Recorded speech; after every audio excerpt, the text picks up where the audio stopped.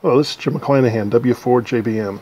Uh, this morning I talked a little bit about the Hewlett Packard 608D uh, signal generator that I was working on. And I wanted to, I, I, really didn't expect to make another video. I've cleaned it up and uh, been working on it. Uh, there's a, a, lubrication schedule um, that you're supposed to follow annually and uh, been trying to clean it up and, and uh, get it going and, and pretty close. but it's, this is such a mechanical marvel that I had to uh, to make another video.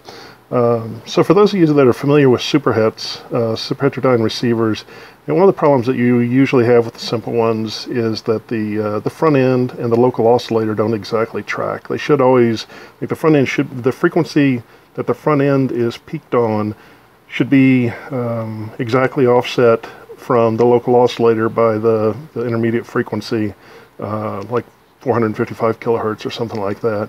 Usually you can't get things exact and you just kind of have to make a compromise and that's good enough. Uh, sometimes there's a, a trimmer involved uh, so that you can peak the front end. So this, this is an oscillator uh, signal generator and it works kind of backwards in a way, but the main dial here uh, drives both a uh, an oscillator and also a, uh, a filter stage. The filter stage doesn't necessarily track exactly, so there's this amplifier trimmer uh, to, to help deal with that. The way that's put in there, uh, typically when you see some kind of trimmer, uh, it, it may be a separate capacitor or uh, it may be a variable resistor driving something like a Varicap or something like that in the, the stage.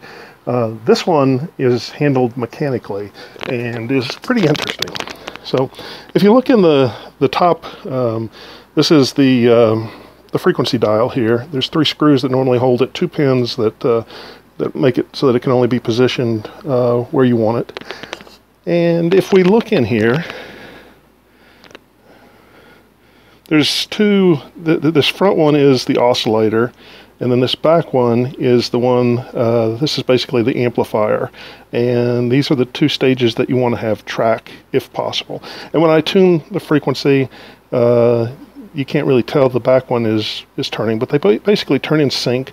There's a pair of uh, worm gears in here. I don't know if uh, you can see that a little more light. There's a, a worm gear there, and there's a worm gear there. So they turn in sync uh, with each other driven by that, uh, that worm gear.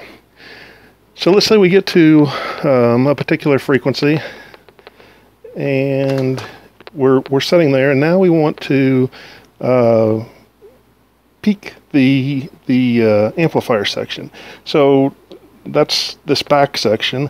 That's driven by the back half of this worm gear. If you look at how the worm gear is actually put together, or the shaft that drives the worm gear, uh, there's a uh, let me get something to uh, to point with here. Right in here, there's actually a slot with a screw in it, and the shaft also goes through uh, just a simple bearing there. This arm is connected to the, the trimmer portion. And what happens, I'm getting myself all tangled on this, but what happens as you adjust the trimmer, uh, it's this shaft here, and I'm adjusting it now. This this other shaft over here is the main tuning dial. Um, but as I adjust the trimmer shaft, uh, it's screwing in and out of that block, which is in turn moving that arm forward and backwards. And that screw within the slot uh, limits its motion, but it's also what keeps gives it mechanical uh, continuity and when I'm I'm turning it uh, turning the frequency dial also.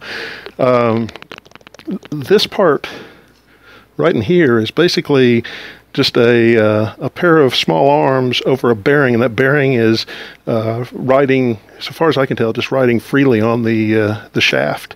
Um, so it's pretty pretty elegant actually. There's not a separate capacitor for the peaking. Instead, once you tune to a frequency and and you're there and you want to peak, uh, what you're doing is actually driving that back worm gear by either lengthening the shaft or like I'm doing now, uh, or reducing the length of the shaft like I'm doing now.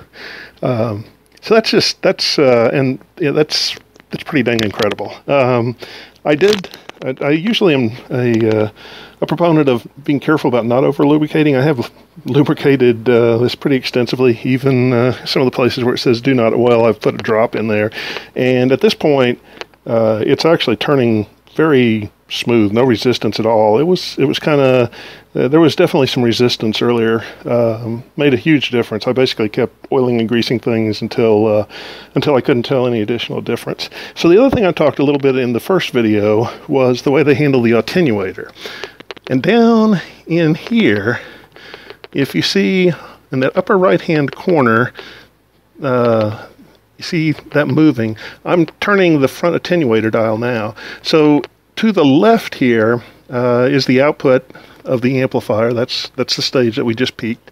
That's the output of the amplifier. Here, the sensor head is basically as close as it gets, and attenuation is as low as it gets uh, for the signal source. As I increase attenuation, the signal head actually moves back down that slotted shaft and gets further and further away, and you'll see it backing. This is the, the signal head up in here uh, right now that's, that's coming out of the, the front of the slot.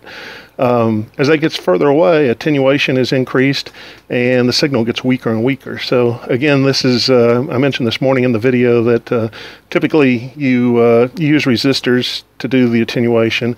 This is actually a mechanical attenuation that, that gets its attenuation by moving the, uh, the sensor forward and backwards.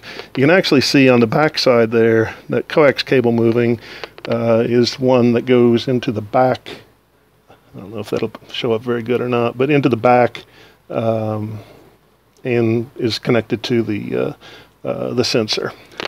So anyway, I just uh, I kind of found that fascinating, and as much as anything, I wanted to uh, to make a video so that uh, I don't have to tear it all apart next time I want to uh, to take a look at how it how it works.